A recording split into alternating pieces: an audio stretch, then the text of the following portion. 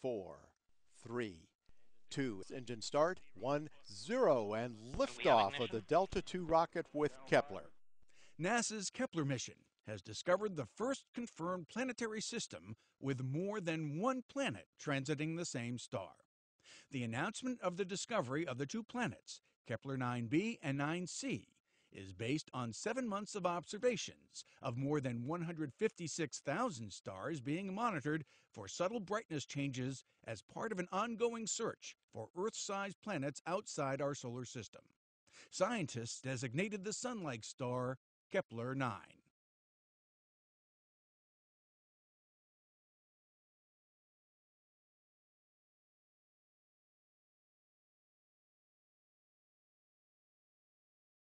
Kepler has, has found about 700 candidate planets.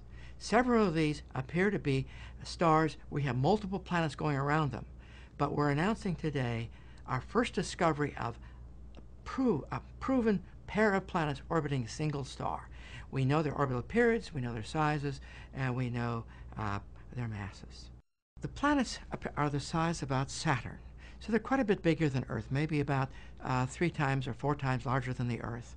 And these planets are hot, and they have orbital periods of 19 days and 38 days, well inside the orbit of Earth or Mercury, in fact. So they're very hot, and they're certainly gas planets. The transit timing method works by having the timing of the planet. When it goes in front of the star, the star dims. So we measure that time, and we measure when it happens again. That's the orbital period. And if that varies a little bit, that tells us about the planets that are orbiting that star. The discovery is especially important because this transit timing method uh, allows us to confirm even smaller planets exist. We ought to be able to confirm even Earth-sized planets exist. So that's extremely important.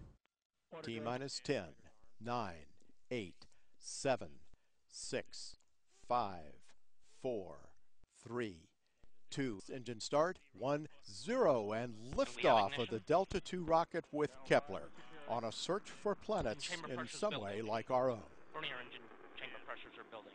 Ground-lit solid motors are building and chamber pressure.